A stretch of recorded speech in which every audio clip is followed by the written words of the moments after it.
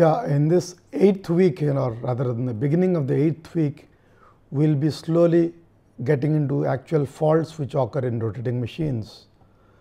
So far, of course, you know, we had actually can think of the prerequisites to finding out faults in machines, be it signal processing, little bit of vibration analysis, noise monitoring, instrumentation, transducers and so on. And now, uh, starting this week, we will be mostly focusing on faults in rotating machines and then what are the common types of faults in rotating machines and uh, what are the other effects of the faults in machines and then particularly the techniques which are predominantly used to find out faults in these machines. So, before we get into the actual faults, let me give you an overview of the possible faults in a rotating machine. Now, if you will realize essentially any rotating machine is actually a combination of a prime mover okay, which is mounted on a foundation and prime mover could be a motor or an engine which is coupled onto a mechanical driven unit which is again put on a foundation. Now, each of these machines would have a rotating shaft which I am drawing by this red line. There could be many such rotating shafts and so on. And of course, these shafts are supported on bearings.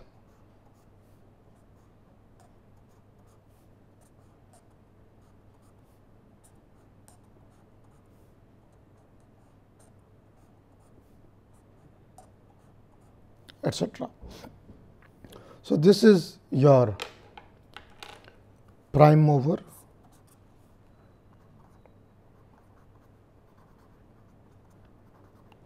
which could be an electrical or electric motor, an IC engine, wherever we do not have a power source.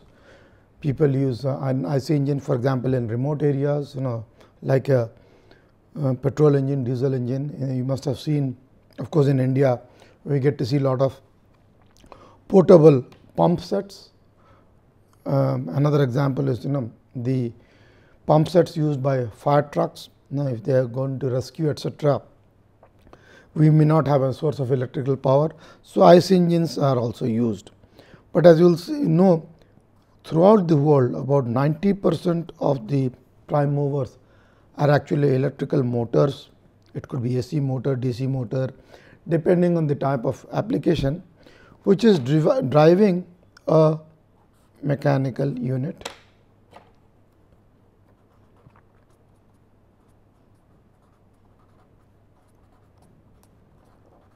Which could be example could be a blower. In the last class, I had shown you a photograph of a blower where we are doing noise monitoring and this blower is actually driven by an electrical motor. It could be a pump, it could be a gearbox for speed reduction. It could be a fan etc. Okay. And uh, this may have you know gears machine, a step up, step down. There could be pulleys Okay. So, this is one rotating shaft.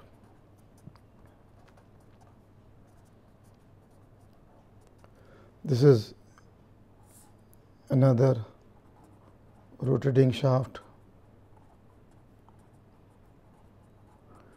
This is known as the non-drive end bearing. and this is the drive end D bearing. and this is a coupling. This could be a pulley.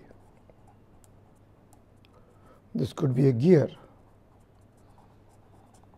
Okay, and then we have this is the obviously the foundation. Another foundation. So, this gives you a generic representation of a rotating machine which is being driven by an electrical motor. Now, keeping this picture in mind, we will see what are the possible faults which can occur in this machine. I am going to list down the faults later, but let me first explain to you through this diagram that what possibly could be a fault in this machine. For example, this shaft between the driven and driving shaft, they all should be concentric and in the same straight line. That may not happen because of one foundation foot being softer than the other. There could be a little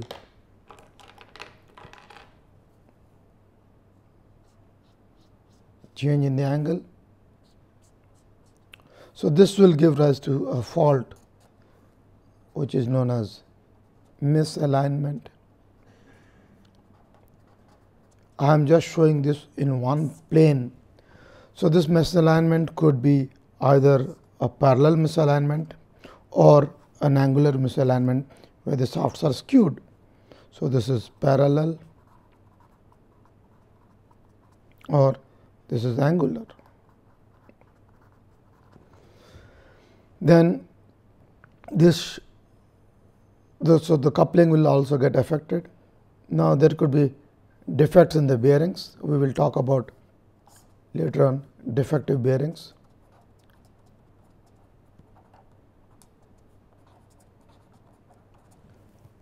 What do you mean by defective bearings? There are, as you know, bearings are rolling elements which will support a load and these rolling elements are supposed to rotate and give less friction and carry the load.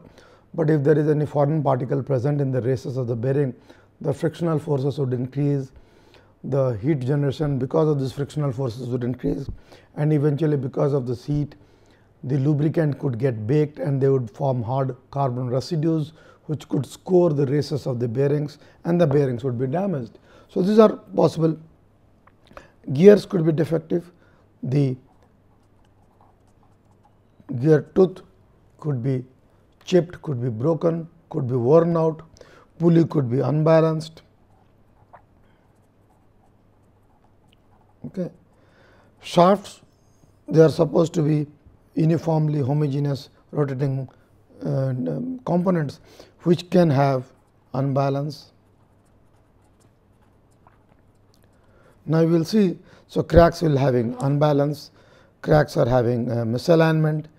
Now, these components like gears which are mounted on the shafts or the pulleys, they could be loose.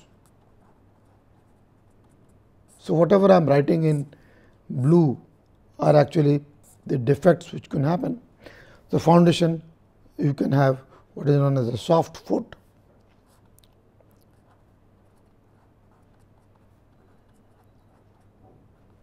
Okay. Then another fault which can occur is uh, things could be loose, which I have told. Now, these shafts because of some defects or weak spot, because they are loading uh, while they are rotating they get loaded and unloaded, there could be cracks in the components. Okay. So, if I was to list down some of the common faults in rotating machines.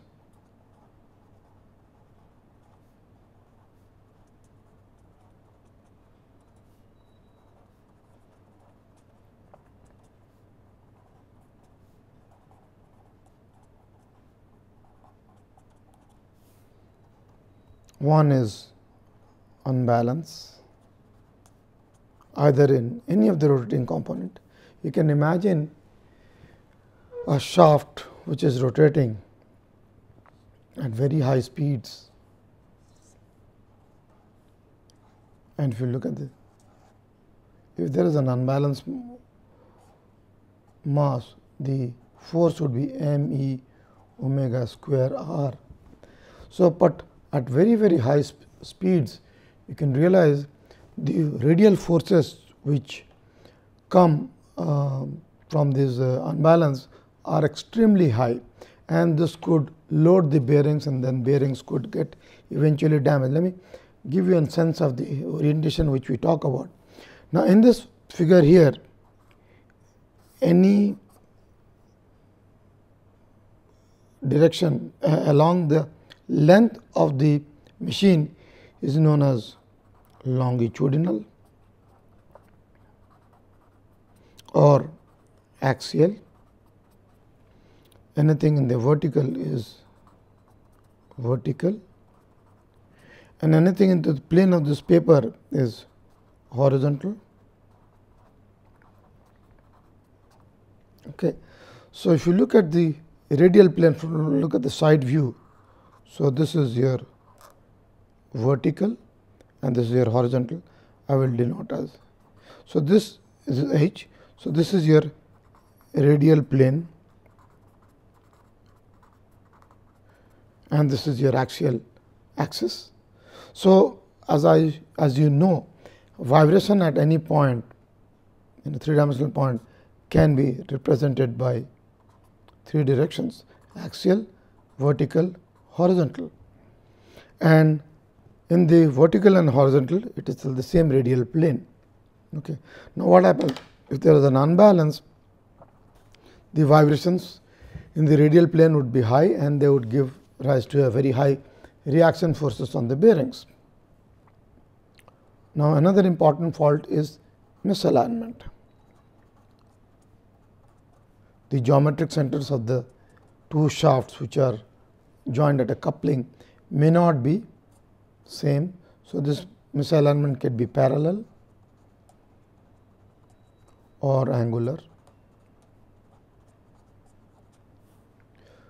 Now, another component is the shafts could be having cracks, they could be loose and then there could be bearing defects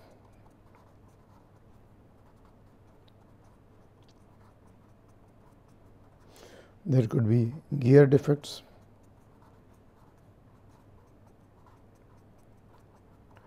And another component if, if one component was just rubbing against another component, it can create a lot of high frequency noise and streak rubs. So, these are some of the common faults in rotating machines. But then here I have not discussed some of the other related faults. What are the related faults?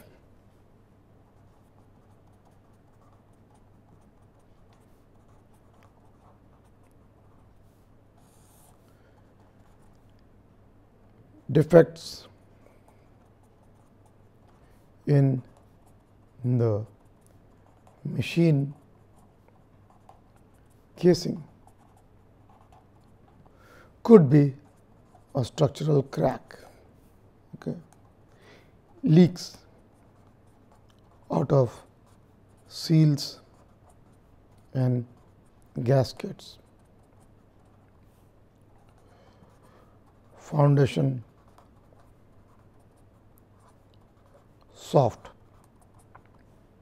Okay. Then of course, something related is you know this was in terms of the prime mover faults. Prime mover faults. So, if you look at the power supply, the electrical motor fault,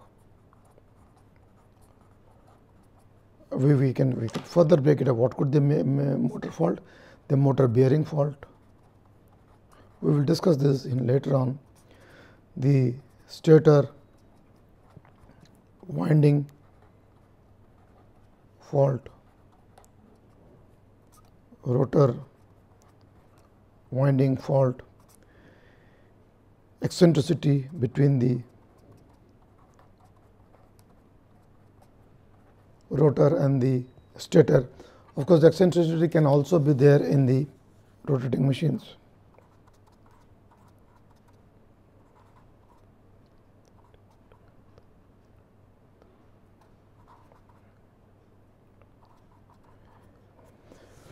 Okay, so there could be. So these are some of the faults. Of course, and if you have an IC engine, the IC engine faults.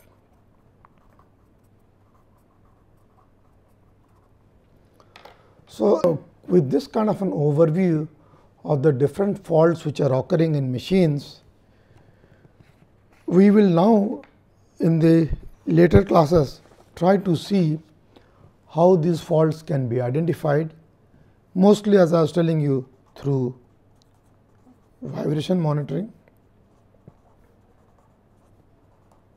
But since 90 percent of the machines in the world today are actually driven by electrical motors, a technique called motor current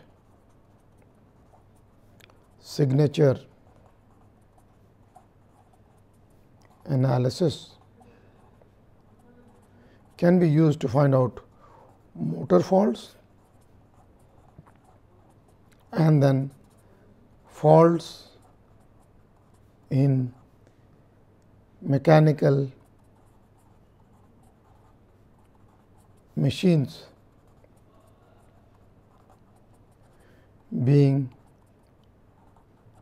driven by electrical motors. In fact, you know we were the pioneers about two decades ago at IIT Kharagpur to find out faults in uh, mechanical machines like you know gearboxes, submersible pump through a technique known as the motor current signature analysis. And details of these you can find out at our website where you will be referred to um, papers on this area, you, you can you can Google me and go to my Google Scholar Scholar citations and get the relevant uh, papers on MCSA for finding out faults in electrical machines. That's those of you who want to do a little bit of more uh, self study and reading uh, one good source is this you know where we have been successfully done uh, tool condition monitoring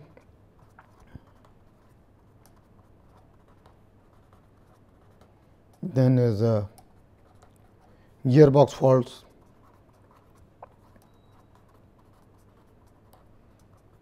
and uh, submersible pump faults.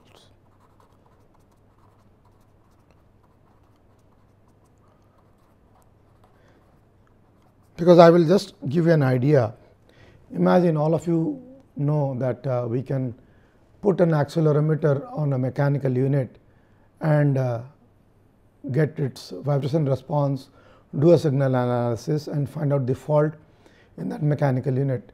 But imagine if a submersible pump which is you know, 50 meters under the ground and there is no way we can access such a submersible pump to put an accelerometer, how do we monitor the condition of such a submersible pump.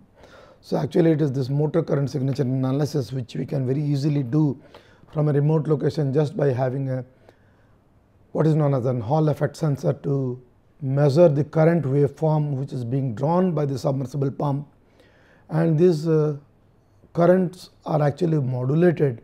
So, by doing a demodulation of the measured current which is driving the submersible pump motor, we can actually find out the faults in the submersible pump. So, these are very powerful techniques which we will come in detail uh, later on we will discuss about them in detail right.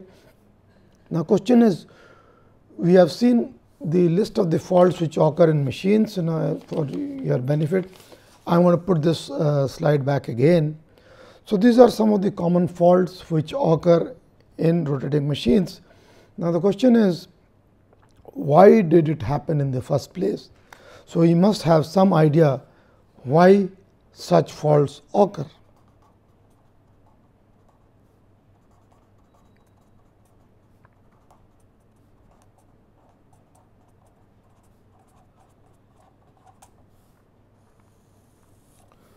One is wrong design, I am using the st statement wrong design or some conditions overlooked by the designer.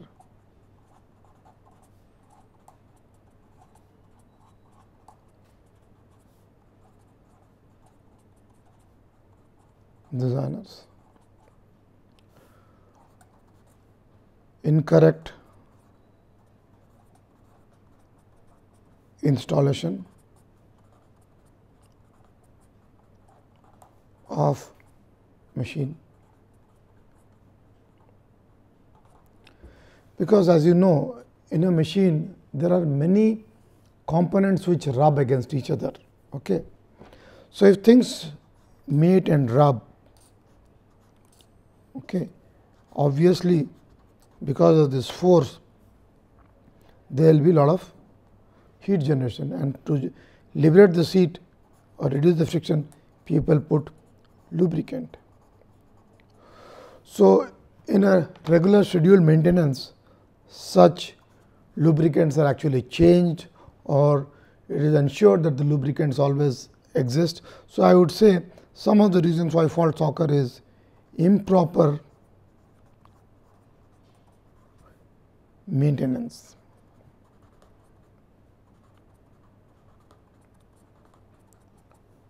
Okay. Because you know that could mean uh, maybe less lubricant,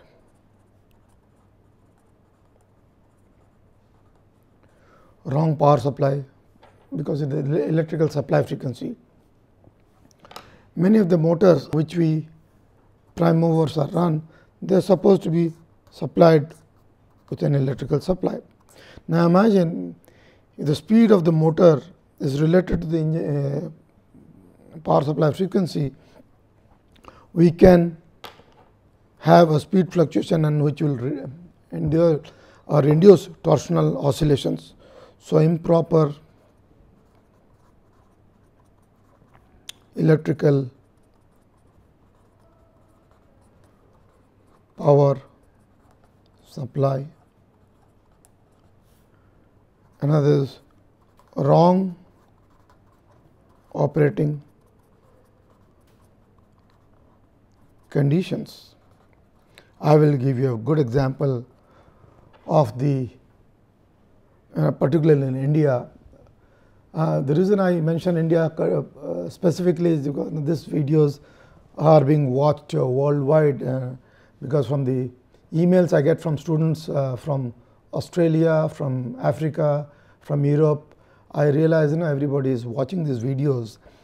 Uh, so my examples uh, relate to things in India. See in India we have uh, trucks, lorries which carry sand, you know, sand from the riverbed uh, to the construction sites and if you be on the highways you will see many places the truck axle would have broken down because of the reason that the truck operator has loaded his uh, truck with more than the design payload of the sand. The more sand they carry, the more money they can make, but they do not realize that they are overloading the load carrying capacity of the axle of a truck, you know, we have 25 ton trucks, we have 6 ton trucks, okay, and we have still very heavy trucks, uh, dump trucks in mining industries, you know, carrying 240 tons.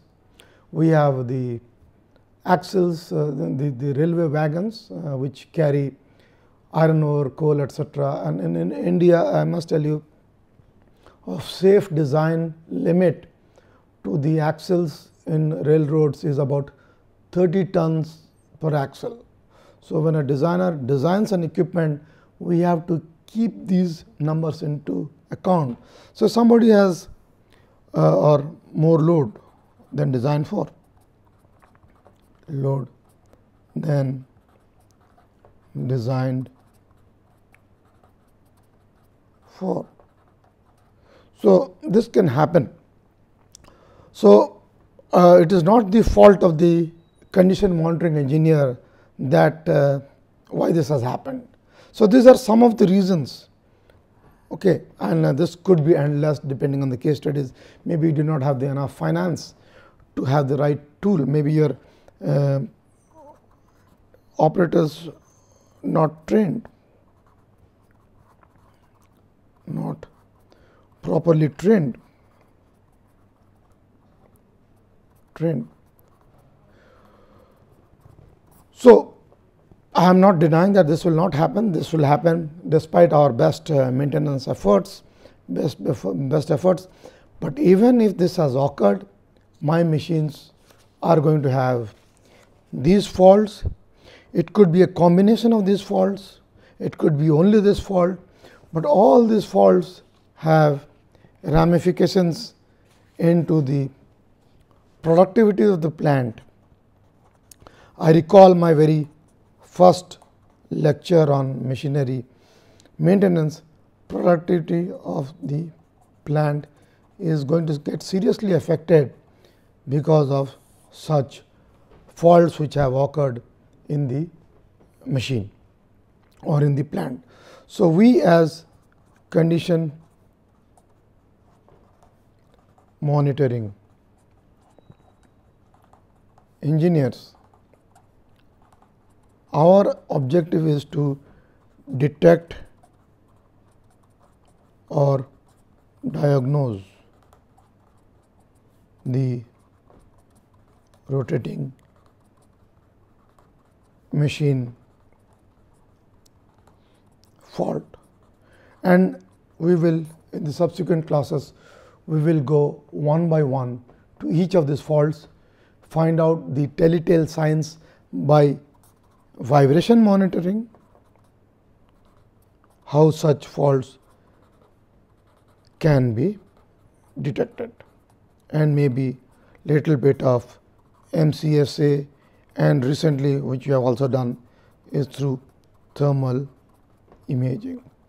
So, this lecture actually sets the ball for the next uh, maybe 2 weeks what where we are going to discuss all these kinds of faults and how these faults can be detected and then uh, we will see our machines are healthy.